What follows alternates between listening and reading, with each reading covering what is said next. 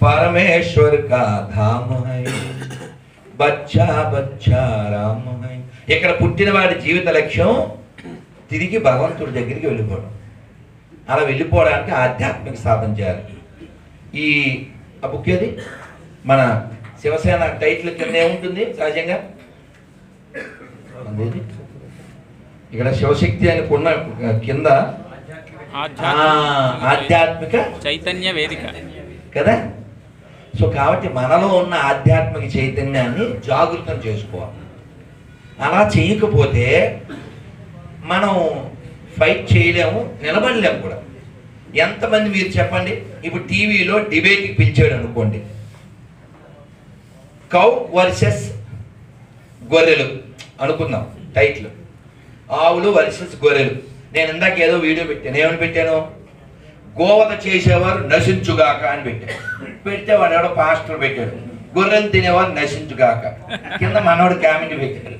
ఏం పెట్టాడు? నీవు కూడా చేపలు ఎడతావు ఏంటోయ్ ఈ మొగానికి చేపలు కూడా పెట్టేసి అవన్నీ తీరుకో ఎందుకంటే వాళ్ళకి తెలిసింది ఒకటే విద్య. సేయింగ్ పాపి డూయింగ్ కాపీ కాకపోతే చెక్ చేసుకోండి అన్నీ అంతే కదా. లేకపోతే ఏసుమాన్ లేదు కదా వాళ్ళకి. సో కాబట్టి అందరూ మనల్ని గుర్తుపెట్టుకోండి. ఎవడైతే ఇప్పుడు నేను పాపులము మేము అంటున్నాడో ఈ పాపులంతా మనోళ్ళే. జస్ట్ జంపై అయిపోయారు ఆ పుస్తకం మస్తకంలోకి వెళ్ళి అలా తయారైపోయారు. వాళ్ళు మనోళ్ళే. వాళ్ళు ప్రసాదాలు తిన్నోళ్ళే వాళ్ళు గుడికి వచ్చిన వాళ్ళే వాళ్ళ తాత ముత్తాత అంతా గుడిలోకి వచ్చిన వాళ్ళు ఇప్పుడు కూడా ఆడి పేరు వెనకాల తోక మనం ఏమన్నా అంటే కేక. మనం పుట్టిస్తున్నాం కాక. అలా పుట్టించాడు వాళ్ళకి వీపీ వీపీని వీపీ చేశాడు. సరే టాపిక్ కాకపోతే. సో కాబట్టి నాన్న ప్లీజ్ నేను ఏమంటే ఎప్పుడైనా ఇంతమంది ఉన్నారు కదా మిమ్మల్ని ఎవడైనా ఒక డిబేట్కి పిలిస్తే నిలబడగలరా ఇది కావాలి. అవునా? అగదు గన్న కూర్చుంటే అలా కొండలా కూర్చుంటాడు. అది చెప్పి బండ్లే చూశారు కదా? రక్షణ టీవీకి వెళ్ళి భక్షణ చేసి వచ్చి. అవునా? అది ఎవడైతే మనకేంటి?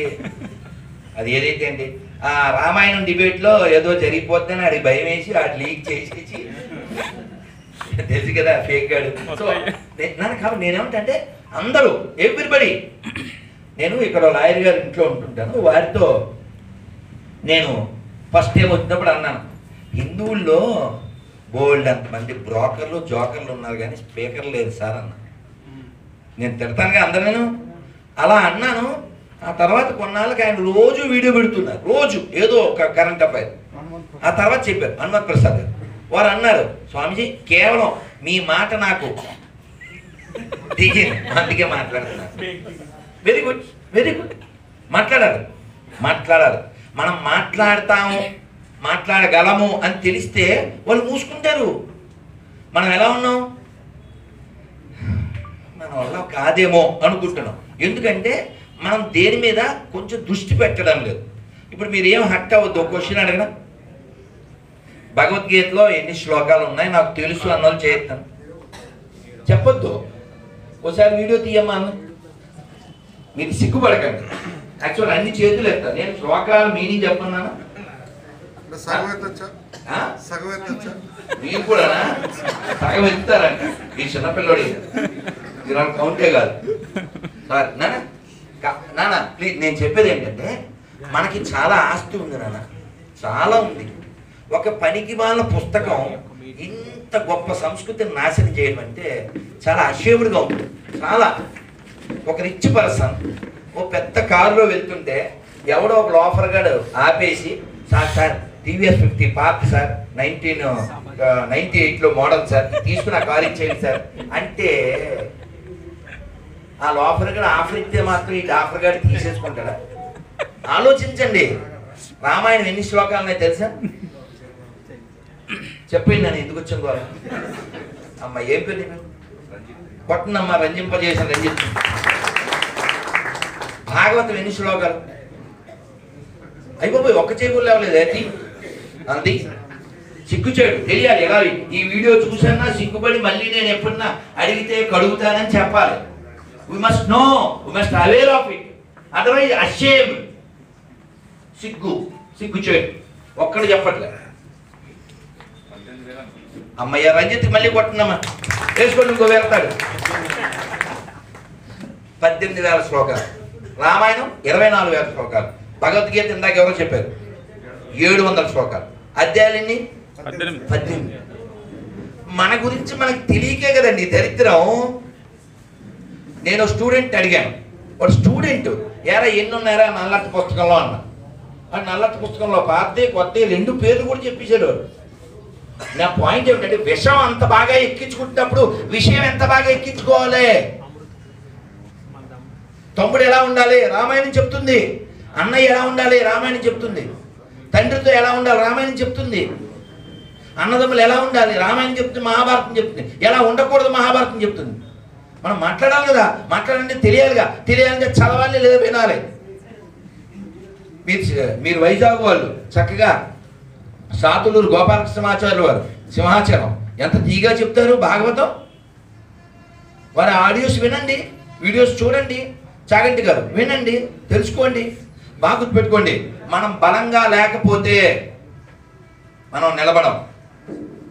మనం నిలబడం నిలబడలేం. ఆ- బలం ఏమిటి చెప్పండి? ఆధ్యాత్మిక బలం. ఆధ్యాత్మిక బలం. అదొకటే నిలబడుతుంది. గుర్తుపెట్టుకోండి. మనని ప్రపంచం గొప్పగా చూడడానికి కారణం ఏంటి? మన పొడుగు కాదు మన రంగు కాదు మన హంగు కాదు మన బిల్డింగ్ కాదు మన ధనం అసలు కాదు. కేవలం ఆధ్యాత్మికత మనకి ఉండబట్టే ప్రపంచం మన వైపు చూస్తుంది. అందుకే ఒక గీతలో చెప్తారు ప్రపంచమునకే నీతి నేర్పగల పంచమ వేదం నాదనవోయ్. ఆ మహాభారతం నాదనవోయ్. మనదేనోయ్ భారతదేశం భారతదేశం మనదేనో తెలియాలా వద్దా? మహాభారతం లక్ష శ్లోకాలు. కొంతైనా తెలియాలిగా? మనకి పుణ్యనదులు ఎన్ని ఉన్నాయి తెలుసా? పొద్దున స్నానం చేసేటప్పుడు ఆ నదులు స్మరించి స్నానం చేసే జాతి మనది. ఏదో గోడకు పైపెట్టి కొట్టినప్పుడు స్నానం చేయమని చెప్పలే. గోడకు పైపెట్టి కొట్టినప్పుడు ఏమీ మంత్రం చెప్పం అలా గోడను తడిపినట్టు స్నానం చేయకూడదు. మన జీవితం అంతా మంత్రపూరితంగా ఉండాలి. ఇప్పుడు మంత్రాలు తక్కువైపోయినాయి యంత్రాలు ఎక్కువైపోయినాయి. అందుకే యాత్రలు కూడా ఎక్కువైపోయినాయి. యంత్రంలో కూడా మంత్రం ఉండాలి. తెలుసు కదా? మన పుణ్యనదులు చెప్పండి ఏమన్నా చెప్పనా గంగే చ యమునా చైవ ఆహా. గోదావరి సరస్వతి ఆహా. నర్మదే సింధు కావేరి ఇవి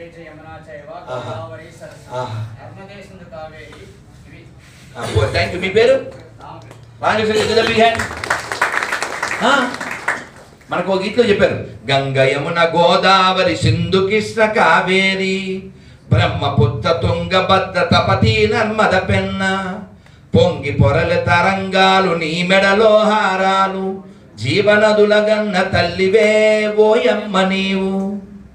జయము జయము భరతమాత జయము నీకు జగన్మాత. ఈ జగాన సాటి ఎవ్వరే ఓయమ్మ నీకు. ఈ పాటను నేను గుజరాత్లో నర్మదా నది దగ్గర పాడి అని ఇంగ్లీష్లో ఎక్స్ప్లెయిన్ చేశాను ఎందుకని? అంత ఉత్తేజం వచ్చింది. ఆ నర్మదాలో స్నానం చేసేది.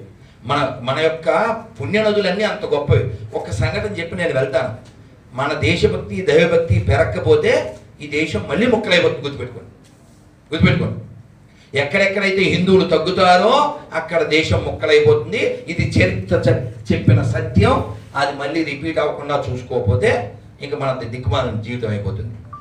ఆయన పేరేమిటండి? కాశీలో ఉండేవారు షహనాయి విద్వాంసులు బిస్మిల్లా ఖాన్. ఆయన్ని అమెరికా రండి సార్. షహనాయి ప్రోగ్రాం పెడదామన్నారు. అంటే ఆయన అన్నారు వస్తాను సరే కానీ మరి స్నానం అది చేయాలి కదా అన్నాడు. సంబంధం లేదు. ఏదన్నా ఏ ఫ్లైట్ గురించో లేకపోతే బిజినెస్ క్లాసా లేకపోతే డబ్బులా ఏవో అడగాలి. స్నానం చేయాలి కదా అన్నాడు. అంటే ఈ అడిగిన అతను స్నానం ఏముంది సార్? బాత్రూమ్లు ఉంటాయి కదా అన్నాడు. నోనో నాకు షవర్ కాదు రివర్ కావాలన్నాడు. ఓ రివర్ ఏముంది ఓ మైల్ దూరం అయితే నైలు వస్తుంది అందులో మునుగుదాంలే. ఓ అమెజాన్లో మునుగుదాం అన్నాడు. నో నో నో నాకు గంగా నదే కావాలి అన్నాడు. అంతే ఏంటి? ఇంత చెప్పి నేను రాను అని చెప్పడం. నేను గంగను వదిలి రాను గంగ లేకపోతే నాకు బెంగ. నేను ఇక్కడి నుంచి చెప్తే దొంగ నేను రాను అని చెప్పాడు. అంటే నేను గంగను వదలను నేను విశ్వేశ్వరుని వదలను నేను కాశీని వదలను. చెప్పండి. ఈ దేశానికి బిస్మిల్లా ఖాన్ కావాలి బిల్లాడెన్ కాదు.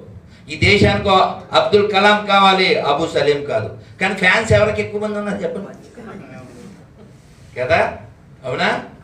ఎవడైతే హిందువుల్ని పదిహేను నిమిషాల్లో వేసేస్తా అన్నాడో వాళ్ళ ముత్తాత పేరు తులసీరాహం తెలుసా? ఇక్కడోడే. గట్టిగా కొన్ని మాటలు మాట్లాడితే చాలా కటువుగా ఉంటాయి. క్షేత్రం ఇక్కడదే విత్తనం ఇక్కడదే. అందరు ఇక్కడోళ్ళే. డిఎన్ఏ ఇదే. కేవలం పనికి మాలిన పుస్తకాలు చదివి వీఆర్ బిలాంగ్స్ టు దెమ్ అనుకుంటున్నారు అంతే.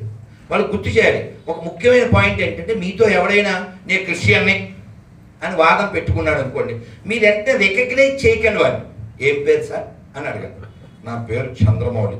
అలాగా. మీ తాత పేరు? సుబ్రహ్మణ్యం. మీ నాన్న పేరు? ఇలా అడిగారు అనుకో ఏ పేర్లు వస్తాయి? ఇవే. వాడు ఇందువేగా. ఇప్పుడు కూడా ఇప్పుడు సర్టిఫికేట్లో ఇందువే.